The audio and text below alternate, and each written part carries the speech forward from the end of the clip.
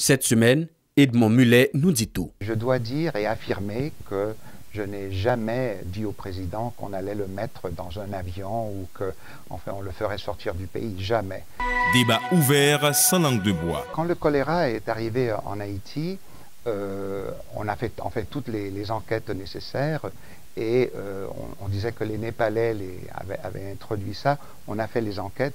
J'ai même séquestré euh, le, journal quotidien du, contingent népalais pour voir s'il y avait des, dans, l'aspect médical, s'il y avait des diarrhées ou des présences enfin de, maladies. On a tout révisé, il n'y avait absolument rien du tout. Mardi 10h PM, reprise vendredi 9h PM sur la chaîne 22.